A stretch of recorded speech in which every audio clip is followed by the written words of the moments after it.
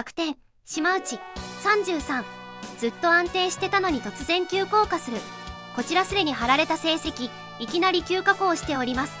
30半ばに差し掛かるとそんなもんちゃうの。楽天安最高傑作。モチベーション終わったんかな。年俸上がらないなら適当にやるわという風潮100里ある。複数年中だけど破棄して移籍したい。トレードでもいいから他球団行きたい。移籍できるなら現俸でもいい。最終年で結果出せないと意味ないからな。最終年以外で本気出すやつはプロ意識が低い。ハムヤが仮にモチベが原因でボロボロならうちで引き取るで。やっぱやる気ちゃんオフにああなったらそらそうよ。トレードしても選手が球団と結んだ契約自体は破棄できないから複数年契約ならトレード先の球団が残りの年俸払うんやっけさすがに安く買い叩きすぎたな楽天では貴重な生え抜きなのに島内の契約って24年までやっけ？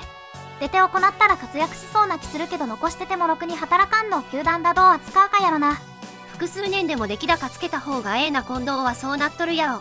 ご視聴ありがとうございました。